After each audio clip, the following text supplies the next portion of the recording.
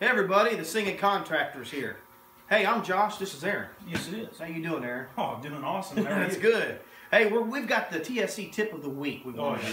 I think Aaron wants to show us something this week. Well, it's a pretty unbelievable tip. it is, And I'm sure nobody's ever done this before. Any other carpenter or anything. So you going to show me what you're going to do, or Well, I'm going to try. okay? You, Okay, a lot of times um, when you're making a, a narrow cut, what a lot of people do is they'll use a chalk line and, and stuff like I've that. used that before. Chalk line. And, uh, it's straight. which we use a chalk line a lot.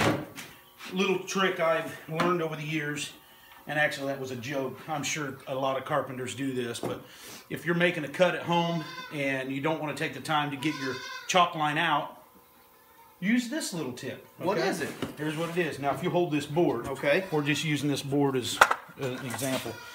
You say you're doing a, you know, a one or two inch rip, okay? You just put your finger here, hold it wherever you So want. You're, that is going to do Yeah, what? That's going to be my guide. Okay. So that's going to be your guide, Okay. and let's see how Here this you works go. here.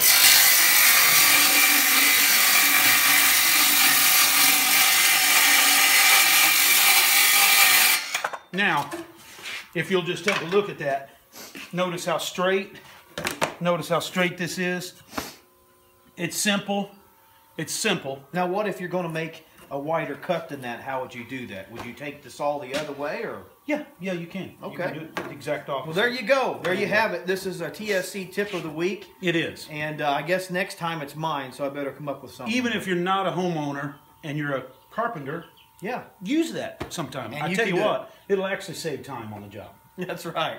Thank you all for watching. Have a good evening.